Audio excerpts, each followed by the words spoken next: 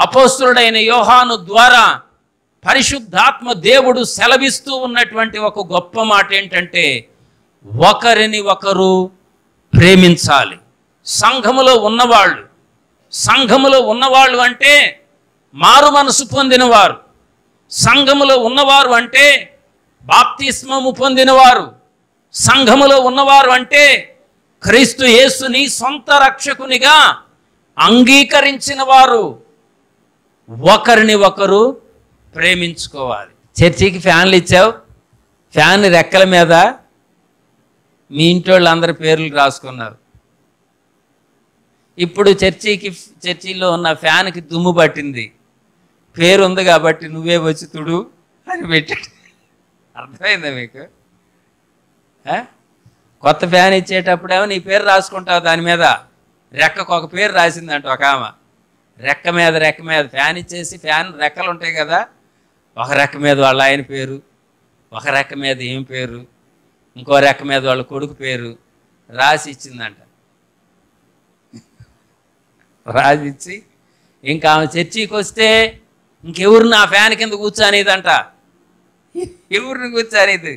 ఇంకా ఆమె కూర్చోవాలి అక్కడికి వచ్చి ఆ ఫ్యాన్ కింద. ఎందుకంటే నేను ఇచ్చే ఆ ఫ్యాను ఫస్ట్లో చూసి ఏమో తంతు తతంగు బుద్ధి అంతా చూసి ఇంకెందుకు లేమతో గోలని పాపం మిగిలిన వాళ్ళు కూడా పక్కకు జరిగి ఆమె ఫ్యాన్ కింద ఆమెనే కూర్చొని ఆమె ఫ్యాన్ కింద ఆమెనే కూర్చొని కూర్చొని సావని సావని అనుకున్నారు జనమంది ఒకరోజు బాగా ఆరాధన జరుగుతూ ఉంది. అందరు బాగా ఆరాధనలో నిమగ్నం అయిపోయారు.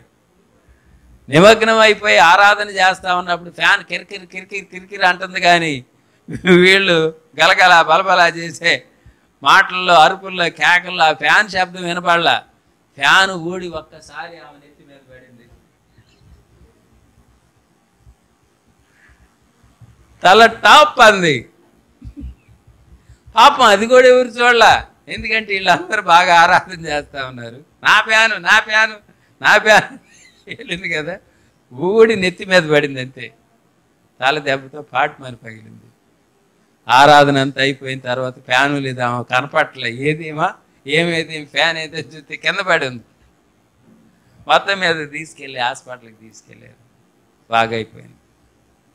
బాగైపోయింది. ఆ ఫ్యాన్ కూడా మళ్ళీ బాగా చేపించారు ఫ్యాన్ని తగిలిచ్చారు. ఏమో కూడా వచ్చేసింది.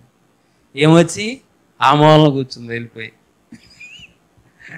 అందరు అక్కయ్య రా అక్కయ్య ఇటుకు రా ఇటురా నీ ఫ్యాన్ కింద కూర్చు. వద్దులే అమ్మాయి నువ్వు కూర్చో. నువ్వు కూర్చో.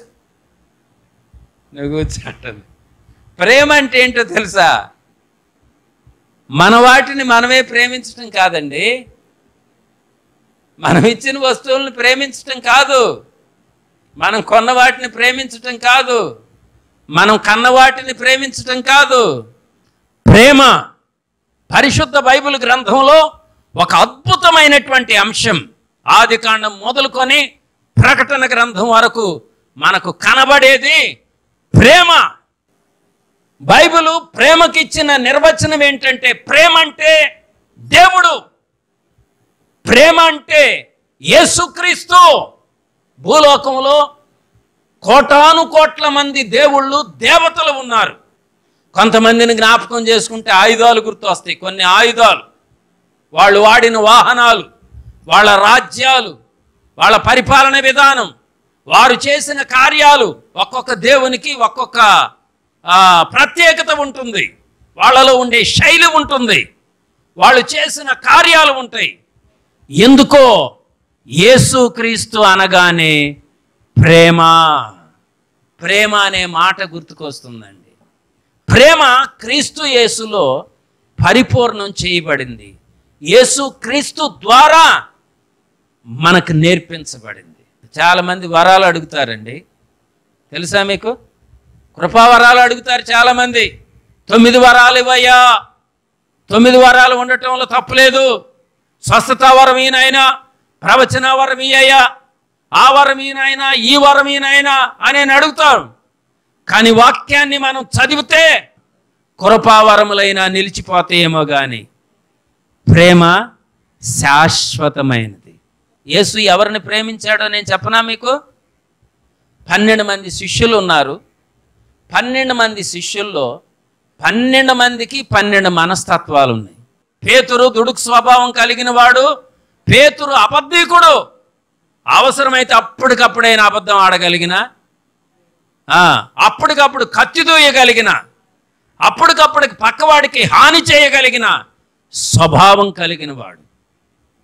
పేతురుని ఏసయ్య ప్రేమించాడంటే అర్థం చేసుకున్నాడండి వీడు దుడుకోడు పోనీలేరా? దుడుకు శోభ పే ప్రేమ అంటే ఇప్పుడు అర్థం ఏంటో తెలుసా? ఎదుటి వాళ్ళని అర్థం చేసుకోవటమే ప్రేమ. ప్రేమ అంటే కొండలను పిండి చేసి వాళ్ళకి ఇయటం కాదండి. ప్రేమిస్తున్నావు ఇంకొకళ్ళని ప్రేమించాలంటే ఐ లవ్ యూ అని చెప్పటం కాదు. ఇది ఒకటి దొరికింది చాలామందికి. I love you I love you I love you. ప్రేమ అంటే అర్థం ఏంటంటే ఎదుటి వాళ్ళ స్వభావాన్ని అర్థం చేసుకోవాలి. ప్రేమ అంటే అనుమానం తోమాకి. తోమా నీకు అనుమానం ఉంది కదా రా నా గాయాల్లో వేలు పెట్టి చూడు. చూడని ప్రభు ప్రేమతో పిలిచాడు. మూడేళ్ళు నా వెనకాల తిరిగి నన్ను నమ్మలేదా నువ్వు? గెడౌట్ అనేవాళ్ళం మనం అయితే రాస్కేల్ అవుట్ అనేవాళ్ళం కదా? చీని మొక్క నాకు ఇంకా చూపించబాకు. మూడున్నర సంవత్సరాలు నా వెనక తిరిగి నేను అంతకుముందు చెప్పాను కదా చనిపోయినా మూడో రోజు తిరిగి లేస్తానని. నువ్వు నమ్మలేదుగా? ఈ పన్నెండు మంది శిష్యుల్లో నుంచి నిన్ను వేలేస్తున్నాను అవుట్ అనేవాళ్ళని ఏసయ్య ప్రేమించాడండి. తోమాని ప్రేమించన్నాడు. తోమా ఇందాక నేను వచ్చినప్పుడు నువ్వు లేవు కదా వీళ్ళందరూ ఉన్నప్పుడు. దా నువ్వు లోపలికి రా అన్నాడు. పిలిచాడు ఇదిగో నా గాయాల్లో నీ వేలు పెట్టి ఒకసారి చూడు అన్నాడు. ఇదిగో భూతాలకు ఉన్నట్లుగా నాకు కాళ్ళు వెనక్కి లేవు దగ్గరకు వచ్చి నువ్వు చెక్ చేసుకొని చూడు నేనే అన్నాడు. తోమ వచ్చి ఆ గాయాల్లో వేలు పెట్టి అలాగే అలాగే కుప్పగూలిపోయి ఆయన పాదాల మీద సాష్టాంగపడి నమస్కారం చేసి ప్రభువా నన్ను క్షమించయ్యా నన్ను క్షమించు నిన్ను నమ్మలేకపోయాను. ప్రేమ అంటే ఏంటో తెలుసా? బలహీనుల్ని అర్థం చేసుకోవటం అండి. యువత భోజనం చేసి వెళ్ళయ్యా ఎదుగో ఈ రొట్టె ఒక ముక్క తీసుకొని వెళ్ళు. ఈ పాత్రలో చేయి పెట్టేళ్ళు. ఎందుకంటే తర్వాత ఇది నీకు దొరికిద్దో దొరకదు. నువ్వు తెల్లారి మా విందులో ఉంటావో ఉండవో. నువ్వు పాత్రలో చేయి పెట్టి వెళ్ళు. ప్రేమ అది. ప్రేమ అంటే క్షమించటం అండి. ప్రేమ అంటే మనకేంటో తెలుసా? గిఫ్ట్లు ఇవ్వడం. ప్రేమ అంటే మాటలు చెప్పటం ప్రేమ అంటే పొగడడం. యేసు ప్రే యేసు ప్రభు ప్రేమ యొక్క పరాకాష్ట ఎలా ఉంటుందో చూపించాడు. మనం ఎవరిని ప్రేమిస్తాం? అందంగా ఉంటే ప్రేమిస్తాం. మంచి రంగు ఉంటే ప్రేమిస్తాం.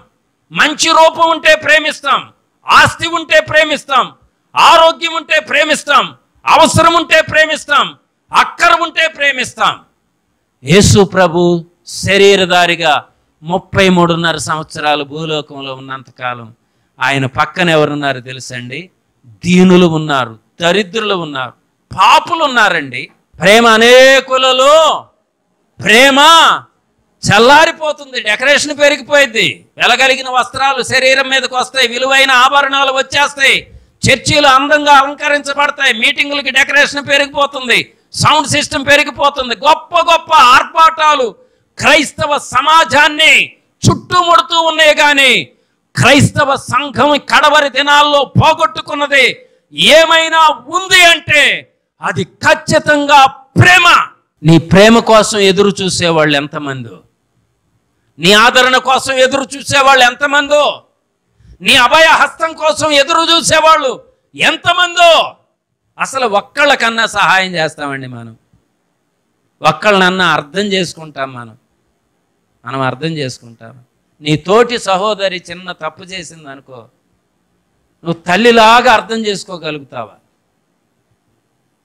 ఒకవేళ నీ బిడ్డ అదే తప్పు అదే తప్పు చేస్తే నువ్వు మాట్లాడినన్ని మాటలు నీ బిడ్డ గురించి మాట్లాడతావా? ఇంకొకళ్ళు తప్పు చేస్తే పొరపాటున నీకు తెలిస్తే దాన్ని గుచ్చి గుచ్చి అడిగి దాని పూర్వపరాలు తెలుసుకున్న దాకా నిద్ర కూడా పట్టదండి.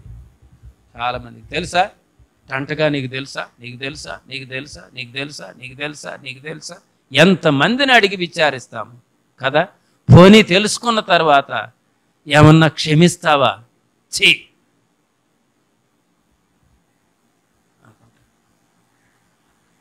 పాస్టర్నైనా ద్వేషిస్తావు విశ్వాసనైనా ద్వేషిస్తావు ఎవరినైనా ద్వేషిస్తావు. క్రీస్తు ప్రేమ అదేనా? తన సహోదరుణ్ణి ప్రేమించేవాడు దేవుని మూలముగా పుట్టినవాడై తన సహోదరిని ప్రేమించేవారు దేవుని మూలముగా పుట్టినవారై. వారు దేవుణ్ణి తెలుసుకుంటారు. ఈ బైబిల్ చదివితే కాదు దేవుడు తెలిసేది. బైబిల్ చదివితే మర్మాలు తెలుస్తాయేమో నీకు? లోతైన విషయాలు తెలుస్తాయేమో నీకు? ఎవరికి తెలియనేమన్నా గొప్ప గొప్ప రహస్యాలు ఏమన్నా తెలుస్తాయేమో? తన సహోదరుణ్ణి ప్రేమిస్తే వాడిలో దేవుని మనసు కనబడుతుంది. ఆ పాపిని లోకం ద్వేషించింది. ఆ పాపిని మతం ద్వేషించిందండి. ఆ పాప పాపిని కులం ద్వేషించింది. ఆ పాపిని వర్గం ద్వేషించింది. యేసు ఒక్కడు తప్ప పాపిని ప్రేమించిన వాడు లేనే లేడు. నువ్వు పుణ్యం చేసుకో నీకు స్వర్గం వచ్చింది పుణ్యం చేసుకునేవాడికి స్వర్గం పాపం చేసుకునేవాడికి నరకం. ఇది మన భక్తి విధానం మన జీవన విధానం. కానీ ఏసేమన్నాడు తెలుసా? నువ్వు పాపం చేసినా నా దగ్గరకు వచ్చి ఒప్పుకుంటే నువ్వు క్షమించబడి పరలోకంలో ఉంటావు. క్రైస్తవ్యంలో అందరు నీతిమంతులు ఉన్నారు అనుకోవటం పొరపాటు. నేను చెప్పనా? క్రైస్తవ్యం అంటే క్షమించబడిన వాళ్ళు. దేవుని గొప్ప క్షమాపణ పొందుకున్న గుంపండి మనం. పుట్టుకతో మనం అందరం పరిశుద్ధులం కాదు. పుట్టుకతో మనమందరం నీతిమంతులం కాదు. పుట్టుకతో మనమందరం యథార్థవంతులం కాదు. మనల్ని యేసయ్య ప్రేమించాడు. మనల్ని క్షమించాడు. మన బలహీనతలని ఆయన వహించాడు. మన వ్యసనాలను వహించాడు. కాబట్టే మనము నీతిమంతులముగా ఈ లోకంలో మనగలుగుతున్నాం ఇప్పుడు క్రైస్తవ్యానికి దేవుడిస్తున్న ఆజ్ఞ ఏంటంటే ఆయన మిమ్మల్ని క్షమించిన ప్రకారం ప్రేమించిన ప్రకారం మీరు మీ తోటి వారిని ప్రేమించండి. వాక్యం ఏమని సెలవిస్తుందంటే మనం కయ్యూను వలె ఉండకూడదు. సహోదరుణ్ణి సహోదరుని ద్వేషించకూడదు. నువ్వు దేవుని దేవుని బలిపీఠం దగ్గరికి అర్పణ తీసుకొని వచ్చేటప్పుడు నీ అర్పణ అక్కడే పెట్టేసి నీ సహోదరునితో ఒకవేళ వ్యాజ్యం ఉంటే నీవు సమాధానపడి రా సమాధానపడిరా సంఘంలో ఉన్న అందరిని ప్రేమిస్తే సంఘం ఆత్మీయంగా అభివృద్ధి చెందుతుంది. సంఘం ఎదగటానికి సంఘం క్రీస్తు పరిపూర్ణతలోనికి రావడానికి ప్రేమే సూత్రం అండి. ప్రేమ. విశ్వాసులు ఏం చేయాలో తెలుసా? దేవుణ్ణి ప్రేమించినట్లుగా క్రీస్తును ప్రేమించినట్లుగా తన ఇరుగు పొరుగు వారిని ప్రేమించాలండి. తోటి విశ్వాసులను ప్రేమిస్తే నువ్వు ఆత్మీయంగా అభివృద్ధి చెందుతావు. యేసుక్రీస్తు పోలిక యేసుక్రీస్తుకి సమానమైనటువంటి పరిపూర్ణత నీలోనికి వస్తుంది. లోకంలో ఉన్న వాళ్ళని పాపంలో ఉన్న వాళ్ళని రోగంతో ఉన్న వాళ్ళని అవసరంతో ఉన్న వాళ్ళని ప్రేమించి ఆదరించి పలకరిస్తే సంఘం ఎదుగుతుంది. మనం ఏదో పెద్ద భక్తిపరులాగా చర్చిలో ముసుకేసినా వేసుకోకపోయినా రోడ్డు మీద బాగా ముసుకేసి ఎవరిని పలకరేయకుండా అటు ఇటు అటు ఇటు వస్తా పోతా అనుకో సంఘం ఎదగదు. పలకరేయండి పక్కన వాళ్ళని. మెరుగు పొరుగు వారిలో ఎవరికన్నా బాగాలేదేమో అడిగి తెలుసుకోండి. ప్రార్థన చేయండి. ఏసఐ బాగు చేస్తాడని చెప్పండి. నీ ప్రార్థన ద్వారా వాళ్ళు గనక స్వస్థత పొందితే నీ ద్వారా వాళ్ళు దేవునిలోనికి వచ్చేస్తారు. స్వార్థ అంటే అదే. స్వార్థ అంటే ప్రసంగం చేయటం కాదు. ఇది పట్టుకొని ప్రసంగం చేయటం కాదు స్వార్థ అంటే. మనము బలహీనులను ప్రేమించాలి. అవసరతల్లో ఉన్నవారిని ప్రేమించాలి. వాళ్ళ అవసరాలు తెలుసుకోవాలి ఆదరించాలి ధైర్యపరచాలి. కన్నీళ్ళు తుడవాలి. ఒక్కళ్ళకన్నా నేను ఉన్నాలమ్మాయి అని చెప్తున్నావా? మీరు పరుగు ఎవరికన్నా చెప్తున్నారా? చెప్తున్నారు. దానికి ఇట్టాగా ఉండాలి. పక్కనింటి వాళ్ళకి ఏమన్నా అయిందని తెలిసింది దానికి తిక్క బాగా కుదిరింది ఇట్టాగే ఉండాలి. నీ శత్రువైనా సరే ఆపదగా ఉన్నారంటే వెళ్ళి పలకరేయండి. పలకరేయండి తప్పలేదు. ఆ ప్రేమ మనలో ఉంటేనే మనము దేవుణ్ణి చూడగలుగుతాం.